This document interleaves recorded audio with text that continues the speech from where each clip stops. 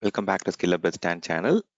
We will cover how to purchase multiple internet facing domains or public domains uh, for free. Okay, so that is what we are going to cover in this video. Okay, I'll walk you through the step-by-step instructions on how you can uh, get that. So in order to get the free domain, you have to get into the site called freenom.com, F-R-E-E norm. So this particular uh, um, organization is based out of uh, Netherlands and they provide purchasable names as well as free domain names for uh, different organizational requirements. if you go to the listing here, you can see there are uh, many free and paid domains. There is a domain price card, and they also give you WHOIS lookup to identify who provides, uh, who owns a particular domain, and so on. You can also transfer the domain from um, uh, different vendor, or also you can renew existing domain if it is getting expired okay so i'll show you how to uh, register a new domain. Okay click on the register a new domain option.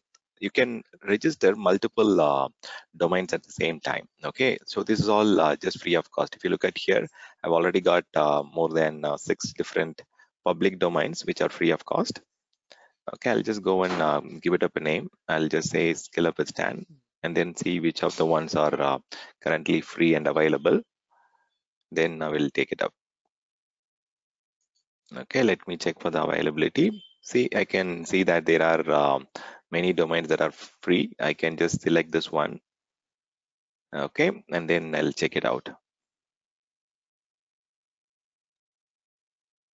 okay you can select more than one domain at the same time. So this will be available for free of cost for one year. And if you're a, if you're just coming with with a startup organization or if you want to practice with uh, online public domain so th this is the best option uh, you can pursue to get a free domain.